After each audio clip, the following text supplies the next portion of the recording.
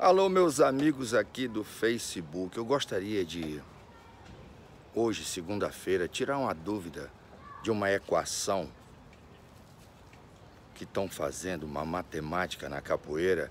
Eu gostaria que os, os ilustres mestres, professores, contramestres, capoeiristas em geral, me tirassem essa dúvida, porque essa equação ela não está ela não tá exata.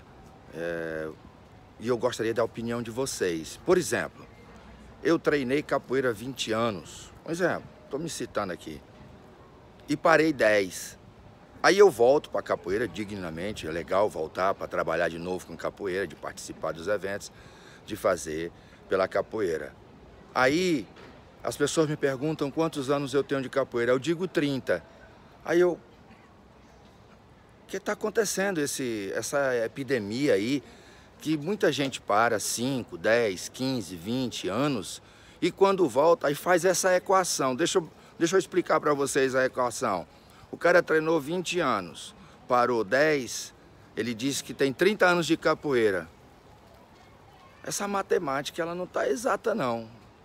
Poderiam os senhores me responder?